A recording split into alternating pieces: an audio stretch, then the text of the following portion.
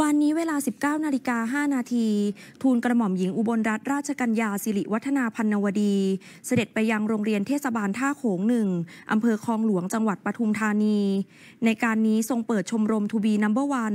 และศูนย์เพื่อนใจทูบีนัมเบอร์วันของโรงเรียนเทศบาลท่าโขงหนึ่ง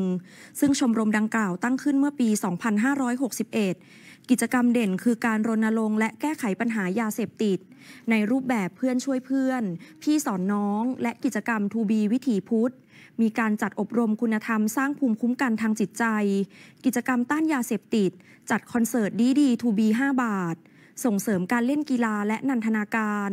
ส่งตัวแทนเข้าร่วมกิจกรรมต่างๆ สมาชิกได้แสดงความสามารถ เกิดความภาคภูมิใจ มีเป้าหมายในชีวิต และมีจิตอาสา ส่วนศูนย์เพื่อนใจทูบีนัมเบอร์วันมีแกนนำอาสาสมัครจำนวน 35 คน ยึดหลักการทำงานคือเป็นหนึ่งโดยไม่พึ่งยาเสพติด ภายใต้แนวคิดปรับทุกข์สร้างสุข แก้ปัญหาพัฒนา EQ ด้วยการพัฒนาทักษะและส่งเสริมอาชีพตามความสนใจ เช่น งานผูกผ้า จัดดอกไม้ วาดภาพ และออกแบบหุ่นยนต์ จากนั้นทรงติดตามผลการดำเนินงานโครงการ To be Number One ของจังหวัดปทุมธานี ได้ดำเนินงานบริหารจัดการเชิงบูรณาการกับทุกภาคส่วน มีการสร้างและพัฒนาเครือข่ายชมรม ให้มีกิจกรรมอย่างต่อเนื่อง เกิดความเข้มแข็งและยั่งยืน ปัจจุบันจังหวัดปทุมธานีเป็นจังหวัดทูบีนัมเบอร์วันกลุ่มดีเด่น รักษามาตรฐานพร้อมเป็นต้นแบบเงินปีที่ 1 และมีผลงานเช่น โรงเรียนปทุมวิไลอยู่ในกลุ่มรักษามาตรฐาน พร้อมเป็นต้นแบบระดับยอดเพชรปีที่ 3 โรงเรียนธรรมศาสตร์คลองหลวงวิทยาคม อยู่ในกลุ่มรักษามาตรฐาน พร้อมเป็นต้นแบบระดับเพชรปีที่ 4 สถานพินิษและคุ้มครองเด็กและเยาวชนจังหวัดปทุมธานี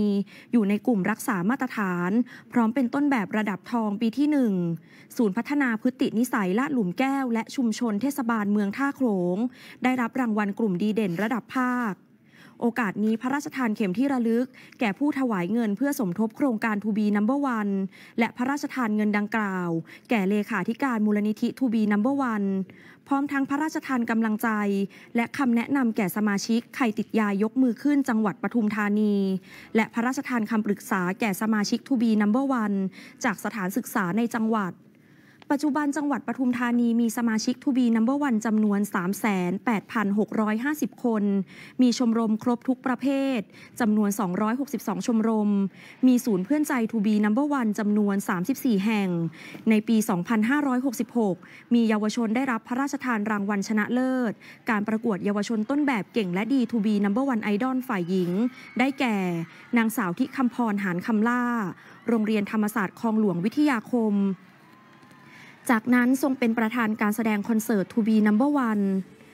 การเสด็จไปทรงติดตามการดำเนินงานโครงการ To be Number One ที่จังหวัดปทุมธานี